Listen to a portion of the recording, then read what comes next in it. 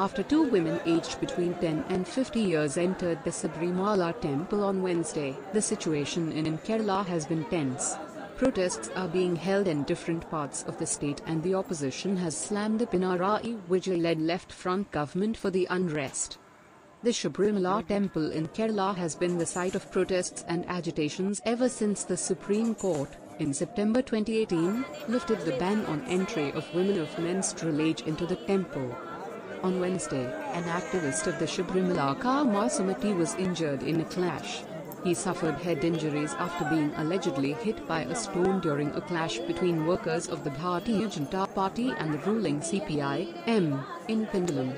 Sabrimala Karma Samiti is an umbrella organization of various pro-Hindutva groups, spearheading protests against the Supreme Court's September 28 verdict.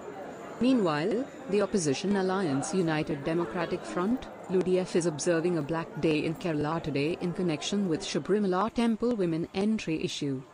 According to reports, auto rickshaws and two-wheelers were plying at the railway station in the state capital and various other places.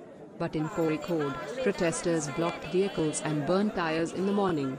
Sabrimala Karma Samiti and Antarashtriya Hindu Parishad AHP, have called the Hartal, which began at 6 am. The BJP is supporting the shutdown while the Congress-led UDF is observing a black day on Thursday.